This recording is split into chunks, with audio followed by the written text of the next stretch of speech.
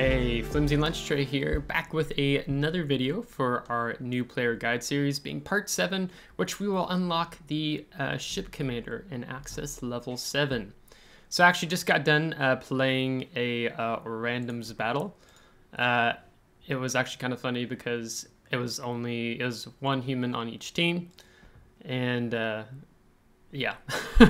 so this is random battles uh, in the morning on the European server at tier 3. Uh, so we had uh, a bit of fun uh, there in that match in the St. Louis. Uh, so uh, I talked a little bit about containers last time. So actually from that battle, I earned a container. So I click collect container and I want, yes, the, hmm, interesting. Because on my NA server, granted I'm much more farther in in terms of access level, uh, there should be one that just says more resources, which gives you like uh, coal, free experience, and sometimes you get some signals in that too. Um, but it's not here, so I'm just gonna go with more signals and camouflages. So maybe that's at a further access level. You know, you don't really remember the when you first start out a game like this, uh, what it's like once you get further in. Huh. Got an achievement, open 10 containers. Okay, so this one still, we got signals, we didn't get any camouflages, but we did get free experience. All right, so um, I believe we have not had uh, the St. Louis in battle yet, though I just played my first battle in her. And one of the things I like particularly about this Tier 3 American Cruiser is her broadside um, in terms of not being shot, but the damage output you have. Uh, the St. Louis has 14 guns. You have 7 on each side uh, which means um, you can be pretty nasty um, when firing on enemy targets and get uh, some good um, high explosive armor piercing salvos. I actually uh, was a tier three bot in the last battle. I got like two citadels on one, and it wasn't he wasn't even broadside to me, so that was uh, that was interesting. So. Uh, I'm going to do what I did last battle. I threw this camouflage on, which reduces our detectability range by sea, and then dispersion of shells fired by enemies attacking your ship is increased, so they don't have as great as accuracy when firing on us, but it's a very small percentage. Um, signals, uh, I'm not really going to worry about taking any right now. Um, since I just played the ship, I actually just lost my uh, victory bonus. Um, so I'm just going to try to let some things accumulate for right now. Um, granted, it could take fire extinguishing time. Yeah, that's why not? Let's just take it for the heck of it. You can buy them in the armory, though we don't have access to the armory yet. But you'll see uh, what happens when we get there. So we got camouflage on, we got a signal mounted. So let's go ahead and dive into the battle and see what happens. Okay, so there seems to be a bit more player population because when I spawned in, it was just immediately loading and it was one human versus one human alongside uh, 11 bots.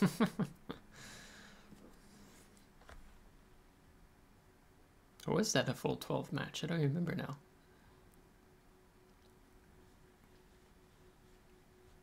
So it is common when you're at the lower tier like this in random battle that your uh, queue time uh, for a battle is going to be uh, a bit longer. Uh, usually if there's not a lot of player population on, then matchmaking will just go ahead and set you up with having uh, bots on your team and bots on enemy team, but note that random battles is supposed to be all human players, but at the lower tier like this, they have to generate um, bots usually to fill in the gaps. Otherwise, you would never be able to, uh, as a new player, you'd never be able to progress up um, to where there are more players uh, playing in the game, which you'll find as the, the higher you get, the less likely you're able to get uh, bots.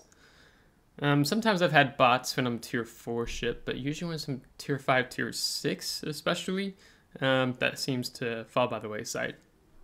So it looks like there's going to be some bots um, in this match, so let's see what happens.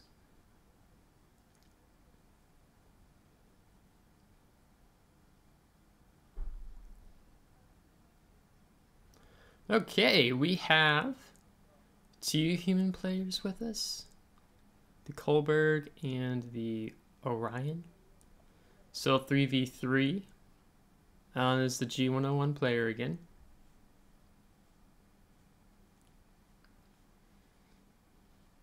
As he actually, I did face him towards the end of the battle and was able to uh, dodge most all of his torpedoes. Well, not most all. I did dodge all of them. Because um, you just... A lot of players who are new just tend to fire... When they fire on random players, since they kind of experience bots, just fire on the, the course that the torpedoes show you. Which I haven't played a torpedo boat yet. Sorry, I have some breakfast stuck in my throat right now. Try clear my throat. Alright. So we start on the flank. We're here in domination mode in ring. So that means in domination mode, it's all four caps. You uh, win by either completely obliterating the enemy team, there's no left, or you zero point them out, uh, or you reach a thousand points first uh, in domination. The other one would be like epicenter or uh, we haven't had that one yet, or standard battle, where there's just two caps. If you cap the enemy base, you automatically win, regardless if you're the last ship left and there's still 11 enemy ships left.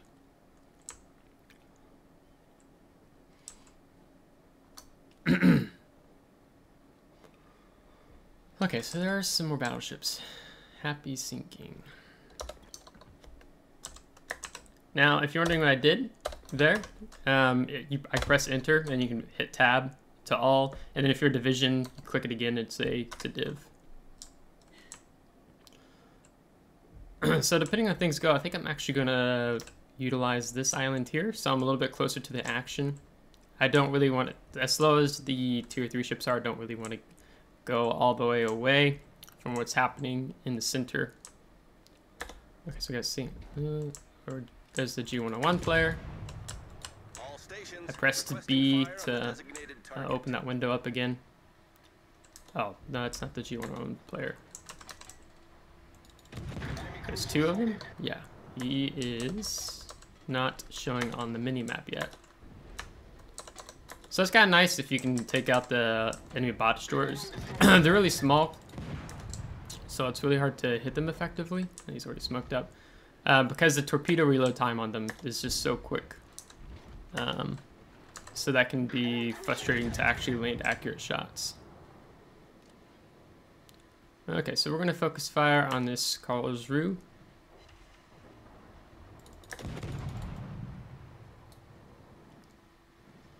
So we're firing undetected behind this island right now, which works quite well. Okay, you're going slower than I thought. Or something like that bots just kind of have a mind of their own and they just tend to like just charge right in. So naturally that's not as helpful in uh, random battles when your bots just kind of throw themselves in. Oh, come on. Did we die to that one? No. One more salvo. He is sitting still.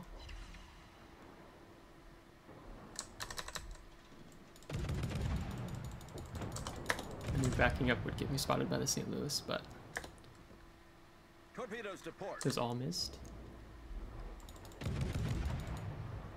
Oh, now he's gonna fire up his engines again. Okay, well it did incapacitate his torpedoes for a moment. Might need to focus on this guy instead since he's closest.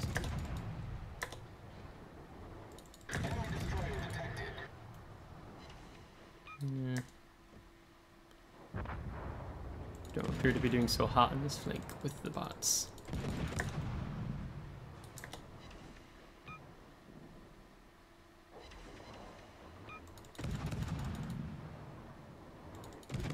It's turning out. I've noticed that it seems like once you damage the bots a little bit, they just turn and run away. But they're also like dumping torpedoes like he is. Don't really want to keep sitting here, but I'd like to just finish off this spot first, but it's going to be more difficult the further he gets away from us. So we'll switch to this guy. Yeah, look at all that broadside. Yeah, that's St. Louis. He's going the flank. But it looks like our guys are doing alright on that opposing flank. Okay, he's showing broadside. He's not turned out like he was. Okay, I'm actually gonna start moving this direction, kind of kite away-ish. Oh, come on. Let's see if we can finish him with that salvo. There we go. Okay, now we're gonna switch to him. He's going a little bit faster, so we're going to have to lead him a little bit more. Ah, that was disappointing. Get the, that one in the center. Just a little more damage. Torpedoes, direct front. Don't know what that was from. Okay, there's a fire. Friant is pretty. Didn't notice he had that big of a hull.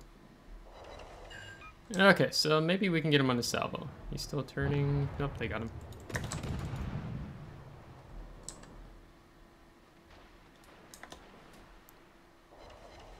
So if you notice on the mini map, my outer ring, that's my max firing range, and I'm actually keeping outside of the other human player. Well, actually, both of them, because we're all on this flank. So that's why they were so strong in this flank. But, um, and keeping outside of his range works really well. That other destroyer, that G101, he's actually playing really well as a destroyer, and that he's utilizing islands to uh, get torpedo drops. Um, because he has a, a, shorter range. Now I'm going to slow down. Uh, I press A and hold H. My firing range is 11.3. And now the St. Louis uh, player is entering it. I do need to be mindful of the Kaiser there because I got this low gap in the island and you can just see he's just sitting dark but he's got a whole broadside to us so he could blap us to the island if we're not careful. So he's doing the wise thing. He's, he's turning out in a way like he should. I think what we're going to do... See, he's still behind the island. I'm not detected. Maybe I can get a fire on him. I'd like to go kill that G101 bot.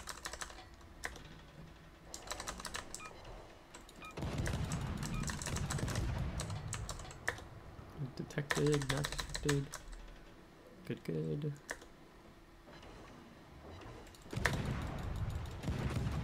It's nice thing have the arcs to fire right over.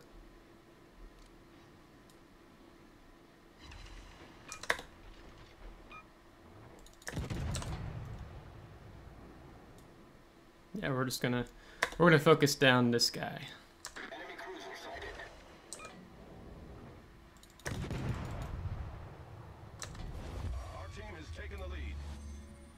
We need to chip him down.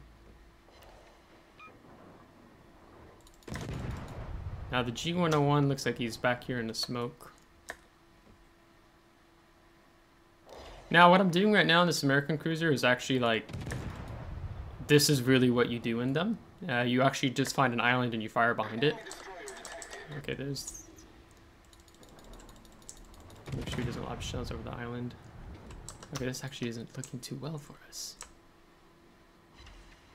I'm to accelerate, and I'm to turn out, and then I'm to turn in. If I don't ground the island. I wish not to be outplayed by a bot. No, come on, guns. Come on. Come on. And this guy's almost dead. Okay, now the Kaiser is turning more in towards me, so um, it'd be really bad for me to just uh, charge in. If he if he decides to come down this way, I'm at a disadvantage. I'm, I kind of wanted to make the loop, but I was afraid of getting torped. So I'm actually going to intentionally ground. This is uh, uh, called in the game uh, Notsering. Um, it was, it's a wargaming, uh, is he a community contributor? I don't actually remember. Um, but if you ground yourself, it's called uh, doing a Notser. So if you see someone use that term, you know why. Okay, which way are you going to go? I think he's going to come down to this channel. Yeah, he's gonna be kind of stuck there. I'd like to go over there and try to get that G101. Oh, he's right there.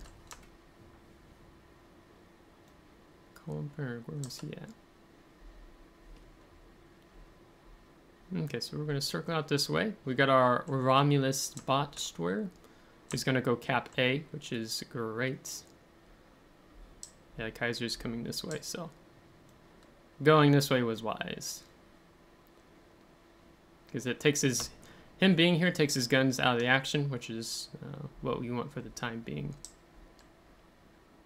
As you can see, we're still uh, relatively healthy at this point. So basically, I'm just going to play Ring Around Rosie with the Kaiser right now.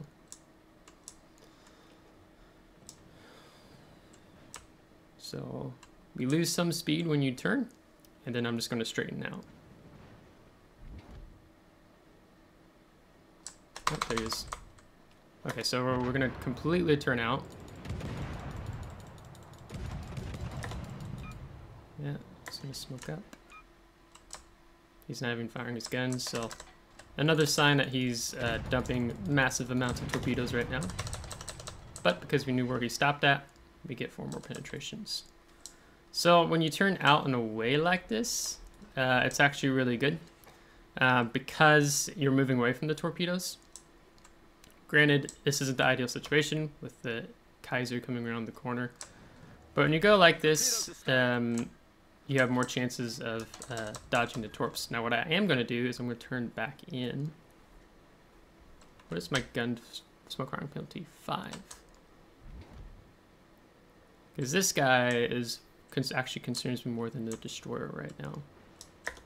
Where's his guns looking? We're not even looking this way. Oh, there he is. Ah,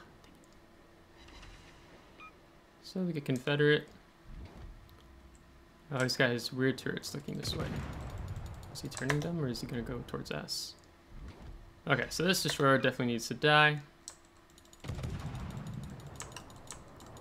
So we're going to cut away from the battleship and have all of our guns focusing the G101. We just perma knocked one of his torpedo tube sets. I don't remember how many he has.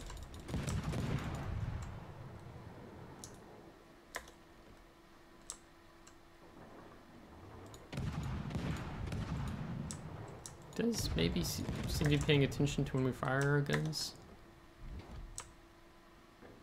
He's a little bit farther away. I'm going to switch back to this guy. So we can get him set on fire. Yeah, looks, yeah, there we go. Great. Our victory is in sight.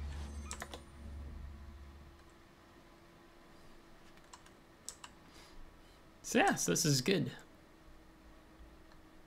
You're in a good position now.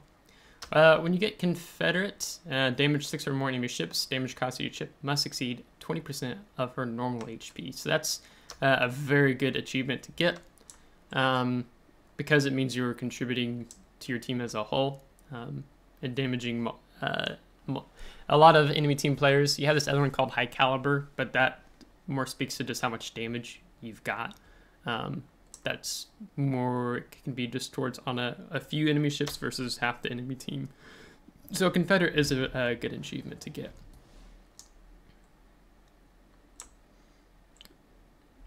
So we're going to move down this way. Now the Kaiser, he's made a mistake here. Uh, and I, I kind of highlighted already. But he turned away, he went through this way, and he's turned out, and now he's gone around this way. He's kept his, he moves so slowly, and he's kept his guns out of the action for so long that he didn't even contribute well to his team.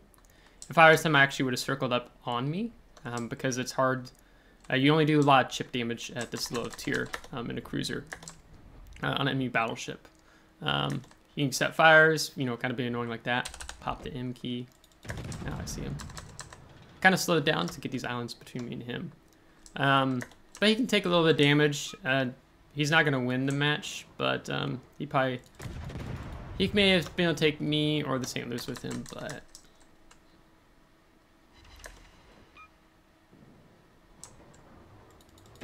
Now he's just going to sit there, which makes shooting him easier for myself and the Orion on my team. He's going to start reversing. That worked perfectly for us because we just get to sit here. Now I'm aiming my shells a little bit high. I'm trying to land on a superstructure. As the Orion takes him out, um, a lot HE if you just hit it low on this torpedo belt protection, if they even have it at this tier. The hull, you won't do a lot of damage. So there we go, 72,000 credits, 177 experience, 49 free XP, along with the Confederate achievement, and 46,000 damage. So the bot Kuma actually did better than us. Um, I am going to compliment the human players on our team. So the you right click um, and then compliment plays well. And then the Orion, he was had four kills, so he's actually getting close to a Kraken Unleashed. Oh, I should compliment him too. You can compliment your opponents. So worthy adversary. Kind of feel feels bad, man. We keep killing him. okay, now exit out, and we're to get unlock access level seven. So apparently, um, at the end of that battle, I just went ahead and shut off the video recording as of habit. And I kept recording the audio um, and talking further. Uh, total flimsy move. Um, so basically what happened was, is we get the, the same old same old. We got the little uh, announcement that we unlocked a new access level. So the access level 8. Uh, we got some rewards. We got uh, a million uh, credits. Uh, we got some uh, additional flags. We got these uh, elite or commander XP flags, I believe it was. And we got some more economic signals. Um, so my bad for totally stopping the video recording. Um, so I'll briefly discuss what I went over. It'll be more polished anyhow. Um, so we earned, we were over, I think, 3,000 ship experience. So I went ahead and we upgraded our main battery. So we went from a 10 second reload to a 9 second reload, as well as our turret traverse time improving from 30 seconds to 22.5 seconds. Our uh, main battery firing range was 11.3, now we're at 12.5. Now the big thing we just unlocked with the access level was commanders, ship commanders. So basically this enhances your ship's characteristics when you master these certain skills. Note this says skills for cruisers, so if I, I click this, um, I can switch between on this commander between destroyers, cruisers, battleships, aircraft carriers, uh, and soon uh, submarines will also be in the game, so there'll be uh, another little icon there. Um, so uh, with a ship commander, I'll just kind of talk about a few basic things real quick on him. Uh, you have to learn com earn commander XP. So XP, XP required to receive a skill point. Uh, you can buff it even sooner. Um, you can use um, free experience. I do not recommend this. Keep your free experience. Um, I'm going to be discussing more on that later on because uh, there'll be some big benefits there if you hang on to the free experience. Um, but you get to master these skills. So this row of skills is one, worth one point. This row of skills is worth two points. This row of skills is worth three points, and this row of skills is worth four points. Now, some of you have been progressing through the game much uh, quicker than myself and um, have been asking different questions. So let's say you've got several skill points on your commander already. Well, in the terms of a cruiser like the St. Louis at tier 3, what skills would I recommend taking? Let's say you have a 3-point commander already. It doesn't take too much to get there.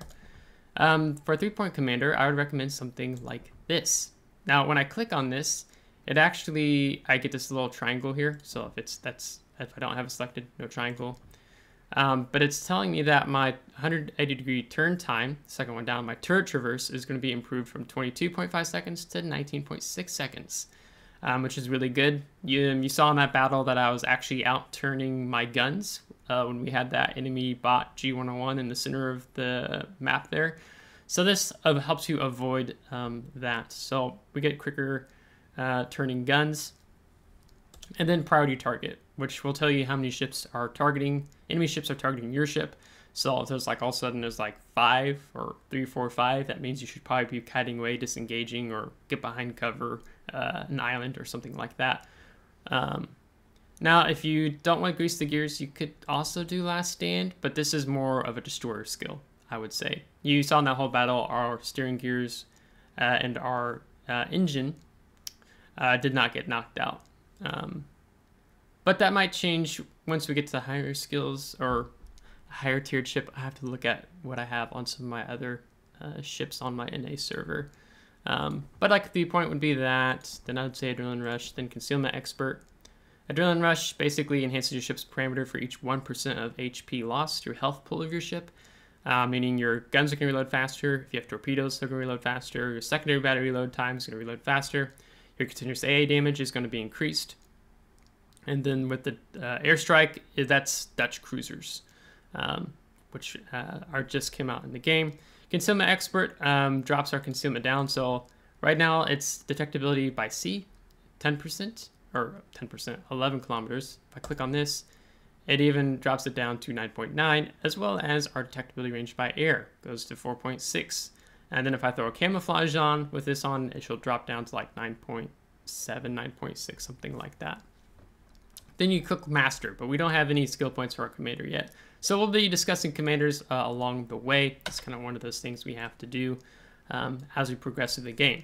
Now, what I do want to say is that uh, I've been featuring a cruiser play thus far. We're in uh, part 8. Uh, I'm going to switch to the Sampson for part 9, uh, tier 2 US destroyer. Uh, we're going to, I've been playing destroyers actually mostly, to a certain extent on the North American server. Um, and I really enjoy playing destroyers. And so I'm going to showcase this. I'm going to showcase smoke, uh, engine boost. We're going to talk about some uh, a different ship class in the game for you guys, um, and uh, helping you out uh, is the goal. So uh, we'll be doing this ship next. So looking forward to that. And then the next access level we unlock will be combat missions. So um, that will be good things because you get valuable rewards uh, from the combat missions. It's kind of uh, a way uh, why Wargaming does this, the maker of of Warships, is it kind of keeps you playing the game longer. The more you play the game, the better for Wargaming. So um, it's kind of incentivized to keep you playing. So that is going to be uh, today's video. Um, appreciate you all tuning in. It seems to be a lot more of you uh, catching uh, this series for the first time um, as I produce it. Ideally, of course, it'd be great if I had like 30 more videos of this already done, but uh, future generations uh, will be able to enjoy this. Let's say several months from now, when there's uh, many more of these videos, they can just book through them at heart's uh, content. But for now, uh, you guys kind of get to experience um, going through uh, the game with me. So, on that note, if you liked today's video, give it a thumbs up. If you didn't, give it a thumbs down. Subscribe if you do want to see more. And if you haven't uh, subscribed, Really appreciate it. So until next time, take care.